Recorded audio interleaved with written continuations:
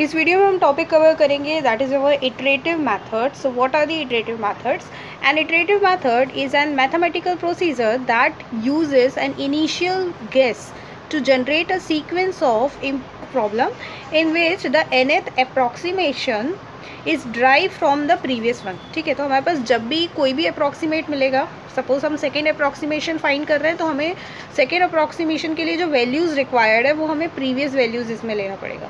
Now iterative method based on the number of guesses they use now, it can be grouped into the two categories. These two categories are bracketing methods and open end methods.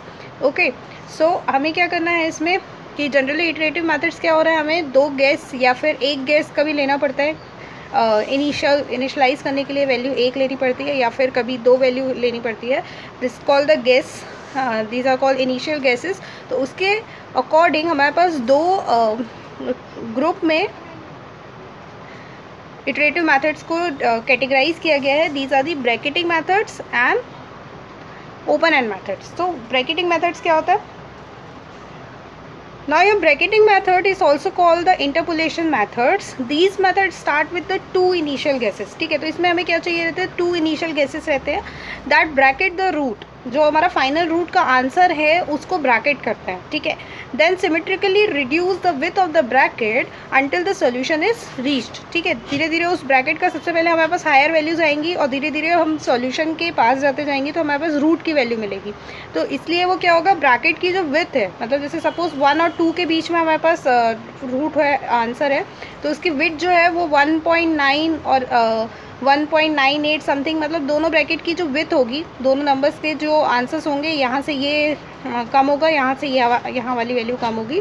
तो हम solution पे now इसकी दो basically method जो है that is your bisection method and false position methods ठीक है, जिसमें से हम अभी देखेंगे बाइसेक्शन मेथड उसके अलावा हमारे पास जो second type of iterative method है these are your open end methods open end method is also called the extrapolation methods these method use a single starting value ठीक है, इसमें क्या होता था? जो हमारी पहले थी दैट इज़ ब्रैकेटिंग मैथड उसमें क्या था?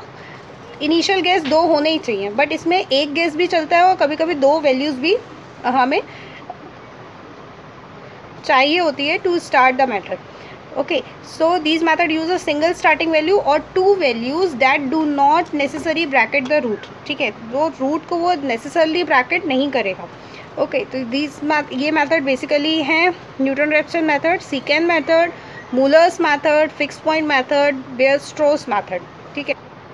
Now the basic difference in between these two method are your bracketing method require to find a sign changes.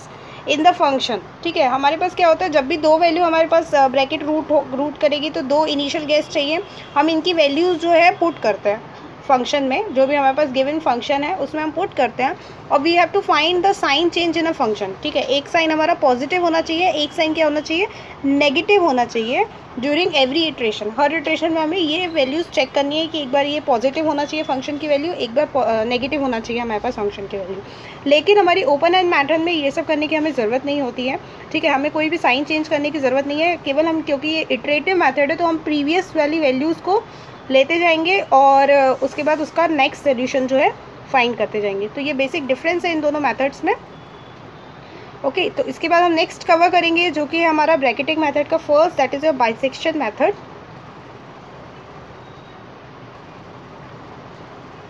उसके बाद हम देखेंगे फॉल्स पोजीशन मेथड उसके बाद नेक्स्ट हम कवर करेंगे हमारी open bracketing methods thank you